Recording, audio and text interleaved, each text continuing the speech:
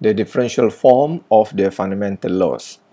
Before we go further to discuss about this topic, I would like to explain about the coordinate system. We have two common coordinate system and we will discuss both system of coordinate here in our uh, topic here. So the first coordinate is the Cartesian coordinate.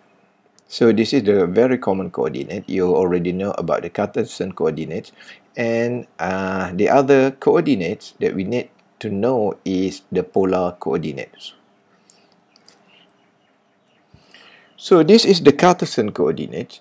A Cartesian coordinate system is a coordinate system that specifies each point uniquely in a plane by a pair of numerical coordinates which are the signed distance of the point from two fixed perpendicular directed lines measured in the same unit of length.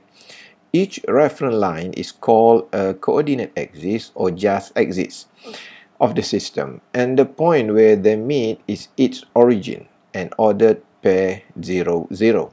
The coordinate can also be defined as, as the position of the perpendicular projection of the points onto the two axes and sometimes three axes expressed as signed distance from the origin.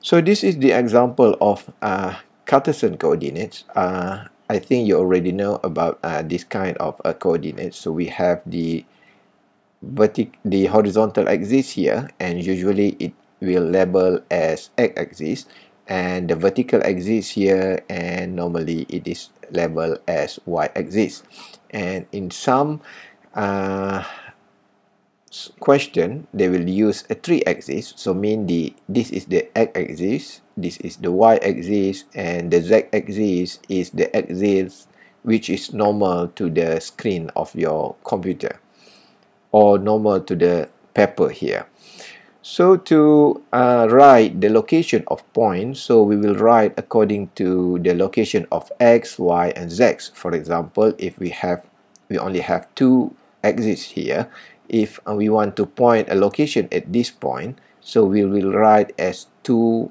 comma 3. So it means it's located at 2 unit at x-axis and 3 unit at y-axis here so it can be negative side like this and it will uh, we could have positive uh, value of coordinate like this. So let's say we have a, a motion of a molecule here. For example we have one element the coordinate is x1 y1 and then it moved to the new location which the coordinate is x2 y2 so we could say that it moved with a certain velocity and we could write the velocity from point x1 y1 to the point x2 y2 here is the velocity of q. And this velocity is the resultant velocity because if we discuss about the component velocity we could say this component this molecule have the component velocity of u which is the velocity parallel with x-axis and the component velocity of v here which is the, velo the component velocity that uh, parallel with uh, y-axis. So to calculate uh, the resultant velocity, we could use common trigonometry equation. So we have square root for u square plus v square as shown here.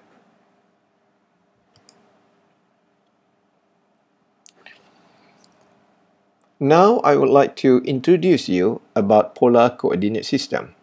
In mathematics, the polar coordinate system is a two-dimensional coordinate system in which each point on a plane is determined by a distance from a reference point and an angle from a reference direction. The reference point, analogous to the origin of Cartesian coordinate system, is called the pole, and the ray from the pole is the reference direction is the polar axis. The distance from the pole is called the radial coordinate or radius and the angle is called the angular coordinate or polar angle or azimuth.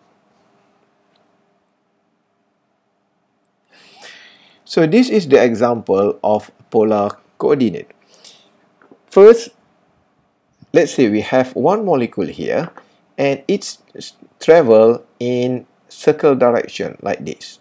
So means this molecule keep rotate at its trail like this.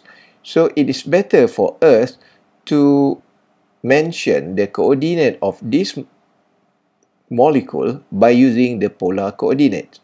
So to use polar coordinate, we will write polar coordinate with the distance of its radius and the angle of its location.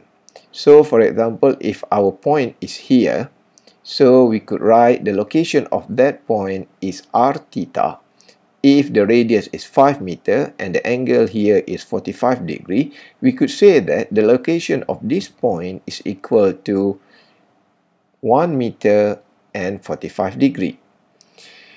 Then this molecule also have the component velocity because we have a radial direction here and the angle of theta here we could have the component velocity of radial direction and we write as ur and the tangent of the velocity at this angle. So we call it the tangential velocity. So we write as u theta and the resultant velocity we could write it is equal to q here by using this equation. And it is similar with the Cartesian coordinates. So we have q is equal to square root ur square plus u theta square